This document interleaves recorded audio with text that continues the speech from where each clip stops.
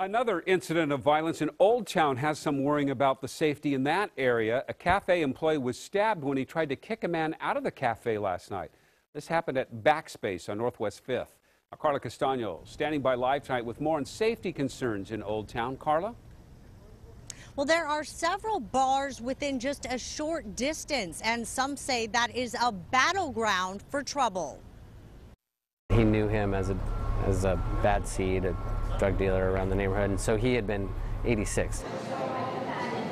The suspect had been kicked out of backspace before when the cook noticed he had once again tried to enter the cafe. And that same employee was sitting outside, not not on the clock. He was just here hanging out and saw him and said, "Hey, you're not supposed to be here." The cook and the suspect knew each other, and the argument quickly turned violent. The guy pulled a knife and uh, stabbed him in the leg.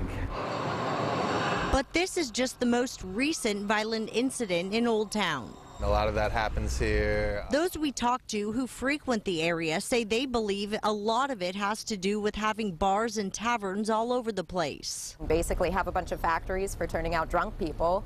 That's just kind of something that happens. You know, I mean, get a bunch of folks that basically take their head off their shoulders, decide to drink their lives, you know, go crazy, have a, have a quote, good time.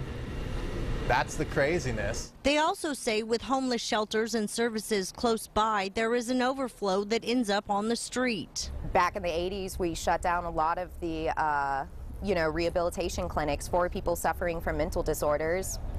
These people are going to be somewhere. And Portland police can't say if they are called to Old Town any more than any other part of Portland. But for this cafe owner, he says he's seen a big change for the better in the last 10 years he's been here. Old Town in general has gotten 10 times better. The Portland Police Bureau has one surveillance camera it uses. They won't tell us where it is, saying they want to protect the property owner. But they say right now there are no plans to add any more cameras to the area. Live in Northwest Portland, Carla Castano, KOIN 6 News. Thank you, Carla.